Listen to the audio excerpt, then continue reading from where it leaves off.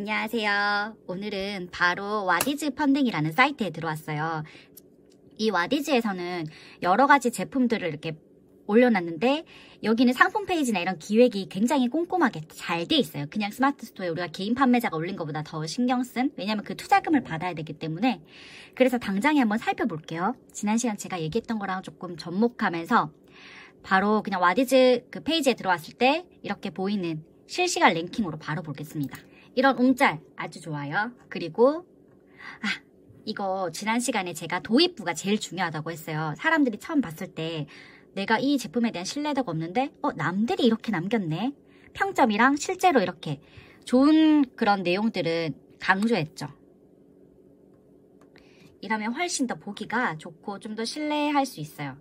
그러니까 우리도 쿠팡이나 일반적인 그 제품 찾을 때 후기 먼저 찾는다고 했잖아요. 그리고 짠 이렇게 움짤 이 움짤을 하게 되면 내가 피부에 뭐 화장품을 고를 때는 직접 바르고 체험하는 게 아닌데 이 사람이 발랐을 때 어떤 느낌으로 이게 쫀쫀하고 끈적임 없이 이렇게 간다라는 거를 좀 더 나타내주면 피부 표현을 나타내주면 고객이 봤을 때 살 확률이 높다는 거죠.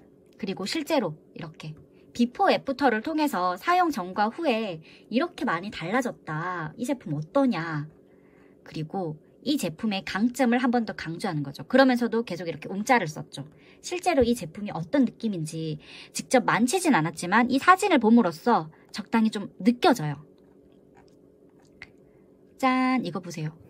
방패 세럼을 바른 부위와 안 바른 부위 어떻게 되는지 이걸 바르고 잼을 구웠는데 식빵에 이렇게 구웠는데 촉촉해요.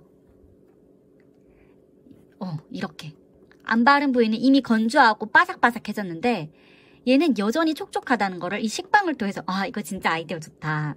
진짜 얼마나 이거를 만들기 위해서 신경을 썼는지가 보이는 것 같아요. 그리고 다시 한 번 더 여기는 후기를 좀 더 강조했어요.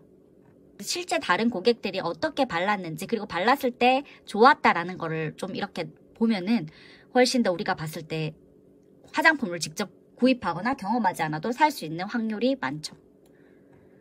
여기는 대부분 이제 후기성 위주로 남겼어요.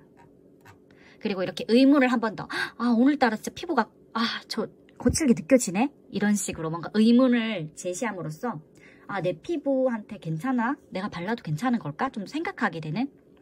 그리고 이제 다시 한번 좀 더 전문적으로 여기에 들어간 성분에 대한 설명을 전문가의 말이나 이런 것들을 인용해서 상세 설명을 다시 한번 했고요. 실제 이 연구 자료를 통해서 이렇게 했을 때 아 진짜 이 제비집이라는 자료 제비집이라는 이게 들어갔을 때 훨씬 더 성분이 좋고 모유나 오리, 달걀 노른자보다 많구나 이런 것들을 알 수 있죠.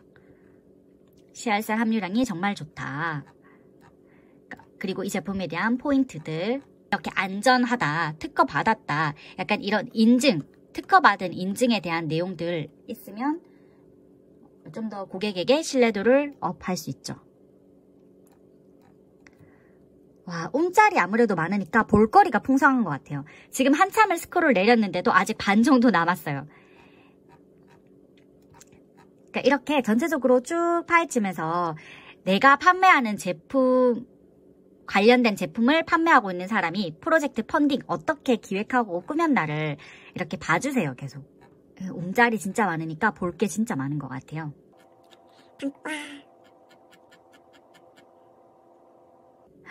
여전히 촉촉하다. 이게 한 방패 크림을 바른 쪽은 48시간이 지나도 여전히 수분이 유지되었다는 걸 보여주고 있어요. 다시 한 번 더 후기를 남기고 계속 계속해서 강조하고 다시 이렇게 직접 만드신 분들의 인터뷰와 사진을 넣음으로써 아 얼굴을 걸고 하는구나 정말 이름을 걸고 하는구나를 좀 느낄 수 있죠 이런 걸 보면. 아 정말 테스트를 많이 했구나. 또 마지막에 제가 지난번에도 고객의 행동을 바로 유도하고 이끌 수 있는 그런 것 중 하나가 바로 한정 수량으로 세일한다. 마지막에 넣어줬죠. 내가 이 제품에 대해서 전반적으로 다 훑고 어, 정말 옴짤도 받고 전문가가 제대로 개발을 했구나를 생각했는데 마지막에 가격적인 부분에서 조금 고민된다. 근데 바로 이런 부분을 넣어줌으로써 한정 수량. 아 지금 이 기간에만 내가 5만 8천 원에 살 수 있구나.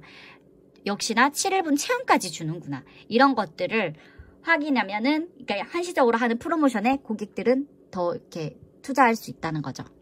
그 FAQ를 넣음으로써 유통기한이나 향 그리고 세럼이 양이 좀 적은 건 아닌가? 알레르기 반응 일어나면 어떡하지? 내가 약간 마음속으로 고민하고 있는 부분들을 이 사람들이 찝어서 이렇게 남겨준다면 다시 한 번 더 그 고민에 대한 부분이 해결되고 고객이 또 구매할 수 있다는 거죠.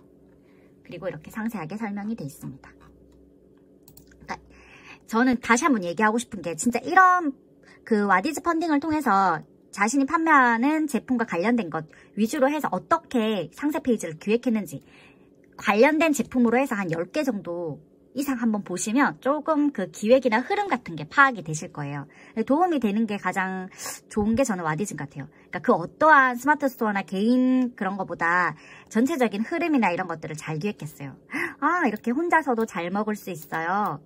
바로 그 뭐 후기나 이런 거 없이도 아, 정말 이 스푼이면 혼자서도 먹을 수 있겠다라는 생각이 들죠. 아기가 실제로 이렇게 먹는 사진을 넣음으로써.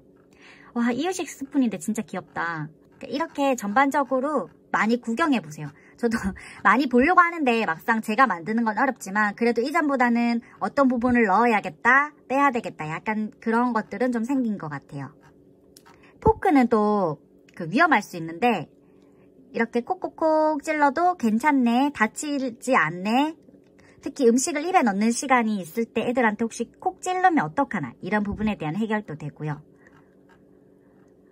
이렇게 역시나 옴자를 제가 많이 넣으면 좋다고 했잖아요. 지난 시간에도 이렇게 넣고 역시나 시험 성적서 시각화된 자료로 안정성 특허받은 거 인증받은 거를 통해서 좀 더 이 제품에 대한 신뢰성을 높이는 거죠.